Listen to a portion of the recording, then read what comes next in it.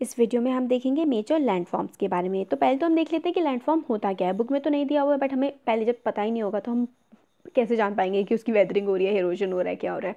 Landform कुछ भी हो सकता है जिस पे आप रहते हैं, जिस एरिया में कोई भी ग्राउंड हो गया माउंटेन हो गया प्लाट्यू हो गया डेजर्ट हो गया, ये सारी की सारी चीज़ें लैंडफॉर्म्स होती हैं। तो लैंडफॉर्म्स जो है, इनका जो इरोजन होता है और वेदरिंग भी होती है। वेदरिंग प्रोसेस और इरोजन प्रोसेस में क्या होता है कि ये जो कोई भी, मान लीजिए लैंड है उस पर ग्रास उगी हुई है, उसमें मिट्टी है। हवा की वजह से, पानी की वजह से, ग्लेशियर सी वेव्स इन सब की वजह से वो जो लैंडफॉर्म की मिट्टी वहाँ से उड़ के कहीं और चली जाती है, हट जाती है वहाँ से। उसका जो प्रोसेस होता है, वो होता है हमारा वेदरिंग और इरोजन वेदरिंग में क्या होता है हमारा, जो रॉक्स होती हैं, वो टूट जाती हैं अर्थ के सरफेस की जो रॉक्स हैं, वो टूट जाती हैं। इरोजन में जो लैंडस्केप होता है, जैसे कि मैंने बताया वाटर विंड आइस इन सबसे उठ के वहाँ से किसी दूसरी जगह चले जाता है। इरोडेड मटीरियल कहीं दूसरे कहीं और ले जाया जाता है विंड वाटर एयर इन सब की। हेल्प से और इवेंचुअली दूसरी जगह पर जाके डिपॉजिट हो जाता है। और ये जो प्रोसेस है इरोजन और डिपोजिशन का, ये डिफरेंट लैंडफॉर्म्स को क्रिएट करता है अर्थ के सरफेस पर। अब हम लोगों को एक ये ब्लू बॉक्स दिया गया है। डू यू नो वाला? इसमें हमें बताया गया है कि काफ़ी सारे जो हैं वाटरफॉल्स हैं पूरे वर्ल्ड में। जो हाईएस्ट वाटरफॉल है, वो है एंजल फॉल्स वेनेजुएला में। बड़ा इंपॉर्टेंट है, बहुत पूछा जाता है जीके जीके के क्वेश्चंस में और वेरियस कॉम्पिटेटिव एग्ज़ाम्स में काफ़ी आता है कि हाईएस्ट वाटरफॉल कौन सा है वर्ल्ड का? वो है एंजल फॉल्स जो कि वेनेजुएला में है। वेनेजुएला साउथ अमेरिका में है। और दूसरा जो वाटरफॉल है, वो है नाइग्रा फॉल काफ़ी इंपॉर्टेंट है और वो लोकेटेड है कहाँ पर? कनाडा में और यूएसए के बीच में नाइग्रा फॉल और एक विक्टोरिया फॉल है जो जाम्बिया और जिम्बाब्वे में है और जाम्बिया जिम्बाब्वे है अफ्रीका में। अब आगे देखते हैं वर्क ऑफ़ रिवर मतलब हम लोगों ने पढ़ लिया कि वेदरिंग और इरोजन होता है, कैसे होता है विंड से रिवर से, इन सबसे ना तो हम किस तरीके से कि कैसे कैसे इरोड करते हैं, ये देखेंगे कि रिवर कैसे इरोड करती है। रिवर क्या करती है? पानी लेके आती है। जो पानी लेके आती है, वो किसी मतलब मिट्टी के ऊपर से, किसी लैंडफॉर्म के ऊपर से लेके आ रही है। पानी की स्पीड जब बहुत ज़्यादा होती है तो वो अपने साथ सैंड के पार्टिकल्स और उस लैंडफॉर्म के को इरोड करते हुए वो आगे बढ़ती जाती है और इधर उधर क्या होती है स्टीप टर्न्स लेती है। स्टीप मतलब बिल्कुल तीखे से टर्न लेती है अलग अलग एंगल्स बनाती है, जो हार्ड रॉक होती है उसको भी काटती हुई जाती है। वैलीज़ में वैलीज़ वाला एरिया वो होता है, जैसे माउंटेन्स के बीच में, जिस एरिया में लोग रहते हैं ना, रह सकते हैं, गहरा एरिया जो होता है, वो होता है वैली तो जब, देखिए इसमें वाटरफॉल है। हार्ड रॉक है, ये रॉक काफ़ी ज़्यादा हार्ड है। इसके ऊपर से जब रिवर बहती है, एक ऊंचाई से नीचे की तरफ़ गिरती है और उसको काटती हुई गिरती है, उस हार्ड रॉक को सॉफ्ट रॉक बना देती है। तो ऐसा जो काफ़ी ऊंचाई से जब पानी गिरता है, रिवर गिरती है तो हमारा वाटर फॉल बनता है। और जब रिवर एंटर करती है प्लेन में तो वो ऐसी टेढ़ी मेढ़ी टेढ़ी मेढ़ी होकर चलती है। वो बैंड्स लेती है, जैसे इसमें दिखाया गया ना, ऐसे देखिए टेढ़ी मेढ़ी टेढ़ी मेढ़ी चल रही है बैंड्स ले रही है। तो इसका मतलब होता है, इसको हम बोलते हैं मियंडरिंग ये जो टेढ़ा मेढ़ा टेढ़ा मेढ़ा देखिए, जैसे एक बार ब्रश लेके मैं आपको बता देती हूँ। इस टाइप से। ये होती है ना, ऐसे करके घूमती है। इसको हम मियंडरिंग बोलते हैं। फिर क्या होता है? बहुत टाइम तक, कभी एक साल में ये ऐसे आई, फिर थोड़ा इसका पाथ चेंज हो गया, फिर क्या हुआ? इसमें यहाँ पे सेडिमेंट्स डिपॉजिट कर दिए। फिर धीरे धीरे काफ़ी टाइम बाद क्या होता है? जो मियंडरिंग करती करती रिवर होती है ना, इसमें से एक लेक सा कट हो जाता है। आधा इसका सरफेस कट हो जाता है, फिर बीच में क्या होता है? सेडिमेंट्स डिपॉजिट हो जाते हैं। फिर ये जो कटेड लेक होता है ना, जो रिवर से आधा दूसरी तरफ़ को कटा हुआ होता है, उसको हम ऑक्सबो लेक बोलते हैं।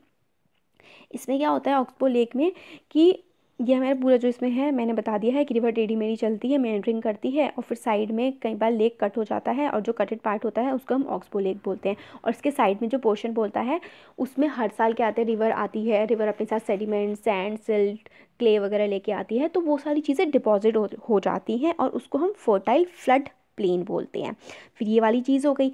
फिर क्या होता है कि हर साल नए सैंड सिल्ट वगैरह लेके आती है तो वो चीज़, वो जगह थोड़ी ऊँची ऊँची ऊँची सी होती जाती है और एक बैंक्स बन जाते हैं रिवर के। बैंक का मतलब होता है रिवर का किनारा और उन बैंक्स को बोलते हैं जो रेज्ड उठे हुए बैंक्स होते हैं, उन्हें हम बोलते हैं लीवीज़ और जैसे जो है रिवर सी की तरफ़ पहुँचती है, वो काफ़ी ज़्यादा फैलने लगती है और मतलब उसका एरिया बढ़ता जाता है और उनकी स्पीड जो है, वो कम होती जाती है। जब स्पीड कम होती है तो रिवर की जो उसमें से कुछ छोटी छोटी छोटी छोटी रिवर्स कटने लगती हैं। जैसे कि पहले मान लीजिए ये एक रिवर आ रही थी, उसकी स्पीड कम हो गई। तो जो रिवर है, वहाँ का सरफेस ऐसा है, जो लैंड एरिया है, कि कहीं ऊँचा, कहीं नीचा, ऊपर खावड़ इसकी वजह से क्या होता है कि वो कई कई सारी स्ट्रीम्स में कटने लगती है, ऐसे इस टाइप से। तो ये क्या थी हमारी? ये थी हमारी रिवर और ये जो कटी ना, ये ये ये, इनको हम बोलते हैं डिस्ट्रीब्यूटरी ठीक है? डिस्ट्रीब्यूटरी क्या होती है? एक ऐसी रिवर जो एक बड़ी रिवर में से पानी लेके जा रही है।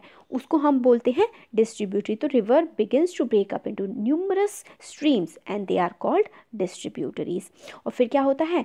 फिर जो रिवर और स्लो होती जाती है, फिर जो अपने साथ वो सिल्ट, सैंड और वेरियस लोड लेके आई हुई होती है, वो डिपॉजिट करना शुरू कर देती है। कहाँ पे? जहाँ पर वो ओशन से मिलने वाली होती है और इस तरीके से उन सेडिमेंट्स से ही बहुत सारी रिवर्स होती हैं, क्योंकि एक रिवर कई सारी रिवर्स में टूट गई होती है, फिर बहुत सारे सेडिमेंट्स होते हैं, एक जगह आके सारी की सारी ओशन से मिलती हैं, बहुत सारे सेडिमेंट्स वहाँ उसके माउथ पे डिपॉजिट करती हैं जहाँ पे ओशन से मिलती हैं तो वो क्या बनता है? इस तरीके से डेल्टा फॉर्मेशन होता है। फिर अब हम देख लेते हैं वर्क ऑफ़ सी तो एक बार छोटा थोड़ा सा रिवाइज कर लेते हैं। रिवर आती है डिपॉजिट्स करती है सैंड से के जो वो बहुत दूर से लेके आई हुई होती है। फिर जब माउथ के पास पहुँचने वाली होती है ओशन से मिलने वाली होती है तो रिवर टूट जाती है कई सारी छोटी रिवर्स में और उन छोटी रिवर्स को हम बोलते हैं डिस्ट्रीब्यूटरी और फिर जब वो और ज़्यादा फिर स्लो हो जाती है, जब माउथ के पास बिल्कुल पहुँचने वाली होती है, फिर माउथ पे वो जो सेडिमेंट्स अपने साथ लेके आई हुई होती है, उनको डिपॉजिट कर देती है और फिर फॉर्म होता है डेल्टा अब हम देखते हैं वर्क ऑफ़ वेव्स तो वेव्स कैसे वर्क करती हैं? जो ओशन वेव्स होती हैं, हमें यहाँ, हमारे हमने यहाँ पर ओशन वेव्स की बात की है। तो सी वेव्स जो होती हैं, वो कंटिन्यूसली स्ट्राइक करती रहती हैं, जो सी के पास रॉक्स होती हैं। फिर धीरे धीरे क्या होता है, वो जब रोज़ रोज़ स्ट्राइक करती हैं, तेज़ी से वेलोसिटी भी काफ़ी ज़्यादा होती है तो धीरे धीरे उन रॉक्स में क्रैक्स डेवलप होने लगते हैं। टाइम के साथ वो बड़े हो जाते हैं और फिर टूटने लगते हैं। फिर जब वो काफ़ी बड़े हो जाते हैं, टूटने लगते हैं तो क्या होता है सी केव्स बनने लगते हैं। ये देखिए, इस फिगर में हमें बताया हुआ है ना कि वो रॉक को तोड़ती जाती है, तोड़ती जाती है तो गुफाएँ जैसी बनने लगती हैं। उनको हम बोलते हैं सी वेव्स फिर क्या होता है?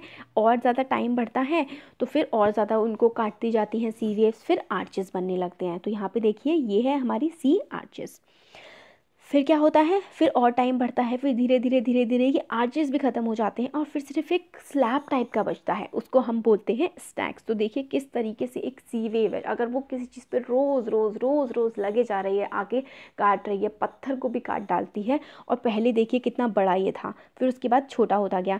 सी वेव, पहले सी केव बनी, फिर सी आर्चेस बनी और फिर फाइनली एक स्टैग ही रह जाता है। तो ये वर्क होता है इरोजन का। किस तरीके से सी वेव्स उस एक स्लैब को रॉक के इरोड करती जाती हैं? पहले केव बनाती है, आर्चेस बनाती हैं और फिर स्टैग बनाती है। और फिर जब वो स्टैग भी और भी ज़्यादा वो होता है इरोड होता जाता है तो फिर क्या बनती है? सी क्लिफ्स बन जाती हैं। और इस तरीके से फिर वो जो उसकी मिट्टी होती है, वो भी अपने साथ कहीं और जो डिपॉजिट है वो कहीं और जाके जमा करती है। और इस तरीके से सीवेज बिल्कुल जब ओशन जो लैंड से मिलता है, वहाँ पे काफ़ी सारा डिपोजिशन करती है और उस डिपोजिशन से हमारे बीचेस बनते हैं। तो जो सेडिमेंट्स होते हैं, ये सारी जो अपने वेव्स लेके आई हुई होती हैं, वो बीचेस पे डिपॉजिट करती हैं, लैंड एरिया पे डिपॉजिट करती हैं और फिर उसको हम बीचेस बोल देते हैं, जो सेडिमेंट्स बन जाते हैं काफ़ी सारे वहाँ पे इकट्ठे होकर के। तो बीचेस कैसे बनते हैं? जो सेडिमेंट्स सी वेव्स लेके आती हैं, उनसे बीचेस बनते हैं। और फिर अब हम आगे देखते हैं वर्क ऑफ़ आइस जो आइस है, वो कैसे वर्क करती है? तो glaciers are rivers of ice which to erode the landscape by bulldozering solid soil and stones तो इसमें यह है कि जो ग्लेशियर्स है ना, जैसे रिवर्स काम करती हैं ग्लेशियर्स क्या हैं? फ्रोज़न रिवर्स हैं ग्लेशियर्स सिर्फ़ बहुत, सबसे सिंपल डेफिनेशन है ग्लेशियर्स की। ग्लेशियर्स आर फ्रोज़न रिवर्स तो ये भी इरोजन करते हैं। जब ये बहते हैं तो अपना जो लैंडस्केप है, जो लैंड फॉर्म है, उसको इरोड करते हैं और काफ़ी सारी चीज़ें अपने अंदर कहीं पर जहाँ से इरोड करते हैं, उससे आगे जाके किसी और जगह पर डिपॉजिट करते हैं। तो जो ग्लेशियर्स कार्व करते हैं डीप हेलोज मतलब ऐसे गोल गोल गहरे गड्ढे ग्लेशियर्स भी कार्व करते हैं। फिर जब आइस मेल्ट होती है और उससे क्या होता है, जो गड्ढे गड्ढे वो बना देते हैं डिपॉजिट्स के बाद और एक जगह तो इरोजन होता है एक जगह से। जहाँ से इरोजन होता जाता है, होता जाता है, वहाँ पे लेक्स टाइप के फॉर्म हो जाते हैं। और फिर जो वो इरोडेड मटेरियल होते हैं, वो कहीं जाके डिपॉजिट भी करती होगी। तो जो जहाँ पे इरोजन होता है, वहाँ पे सुंदर से लेक्स बन जाते हैं। और फिर material carried by glacier such as rocks big and small sand and silt gets deposited these deposits form glacier moraines lakes बनाया एक जगह तो लेक बना दिया, जहाँ से पे इरोजन हुआ। और फिर जहाँ पे डिपोजिशन होता है इन सब चीज़ों का जा करके उनको हम बोलते हैं ग्लेशियर मोरेन्स फिर अब हम वर्क ऑफ़ विंड भी देख लेते हैं कि डेजर्ट में इरोजन और डिपोजिशन कैसे वर्क करता है। तो जो एक्टिव एजेंट है इरोजन और डिपोजिशन का डेजर्ट्स में, वो है विंड इससे पहले हम लोगों ने क्या पढ़ा था? आइस में सी वेव्स में रिवर्स में, क्या था? इरोडिंग एजेंट वाटर था। अब जो डेजर्ट्स में है, वो इरोडिंग एजेंट होता है हमारे विंड। तो विंड क्या करती है? इरोजन और डिपोजिशन, हवा चलती है, एक जगह से रेत उड़ती है और दूसरी जगह जाके डिपॉजिट हो जाती है और मशरूम शेप्स की रॉक बनती हैं। और फिर क्या होता है? मशरूम शेप की जो रॉक्स होती हैं, विंड चलती जाती चलती जाती है। तो विंड इस तरीके से बहती है कि जो टॉप होता है, उसमें से तो इतना इरोजन नहीं होता है। बेस में से ज़्यादा इरोजन होता है। ये देखिए, इस टाइप की पहले ये रॉक थी, सपोज़ करिए, ये एक रॉक थी, है ना? फिर उसके बाद क्या होता है? इसके और नीचे नीचे नीचे और रॉक्स थी। फिर जो विंड का वर्क होता है, डेजर्ट्स में वो इस तरीके से होता है कि बेस तो मोस्टली कम इरोड होता है और ऊपर वाला एरिया, सॉरी, कम इरोड होता है और बेस ज़्यादा इरोड होता है। तो इस टाइप का स्ट्रक्चर बन जाता है मशरूम टाइप का और इस टाइप के हम रॉक्स को बोलते हैं मशरूम रॉक्स फिर क्या होता है, आगे कुछ जगह तो ये वाला यहाँ पे तो क्या हो रहा है? इरोजन अब कहीं पर इरोजन हो रहा है तो वो इरोडेड चीज़ कहीं ना कहीं जाके डिपॉजिट भी होगी। तो जो डिपॉजिट होते हैं, उससे बनते हैं सैंड ड्यून्स तो एक जगह जाके इरोजन हुआ था, फिर कहीं पर जाके इस तरीके के ड्यून्स बन जाते हैं, जो डिपोजिशन जहाँ पर भी होता है। ठीक है, ये हो गया। फिर क्या होता है कि कई बार जो ग्रेन्स ऑफ़ सैंड होते हैं सैंड के जो पार्टिकल्स होते हैं फाइन होते हैं लाइट होते हैं, वो बहुत दूर दूर तक के डिस्टेंस पे चले जाते हैं। तो इस तरीके का जब बहुत दूर के डिस्टेंस पे जाके डिपॉजिट होते हैं तो उनको लार्ज एरियाज़ में तो उनको हम लॉजेस बोलते हैं L O E S S और इस टाइप के जो लार्ज लॉजेस होते हैं, वो हमें चाइना में काफ़ी ज़्यादा मिलते हैं। तो हमारा चैप्टर कंप्लीट हो गया। इसमें हमने various major forms land forms के बारे में पढ़ा और किस तरीके से इरोजन और डिपोजिशन के वर्क से अलग अलग तरीके के लैंड फॉर्म्स बनते हैं। तो थैंक यू सो मच